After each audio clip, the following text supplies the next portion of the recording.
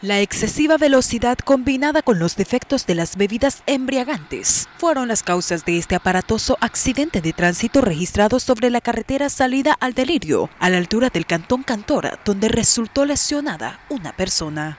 El conductor del vehículo celeste placas P257-334, que venía de Usulután hacia San Miguel a vender pan en estado de ebriedad, conducía a excesiva velocidad cuando invadió el carril contrario impactando frontalmente con el pickup rojos placas 551-334. Eh, los frenos parece que no le agarraron muy bien porque en eso iba pasando a una persona, ¿verdad? Entonces él por esquivarse fue que dio vuelta.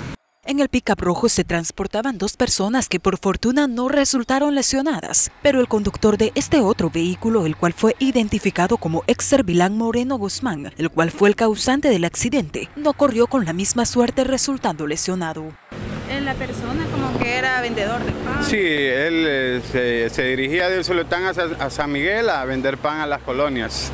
Las autoridades de tránsito se hicieron presentes en el lugar para realizar las inspecciones del percance y el llamado continúa siendo a los conductores el acatar el reglamento de tránsito para que no se convierta en una víctima más en las carreteras. Este es un informe especial de este TRV en San Miguel. Marcela Rivera, Mega Noticias 19.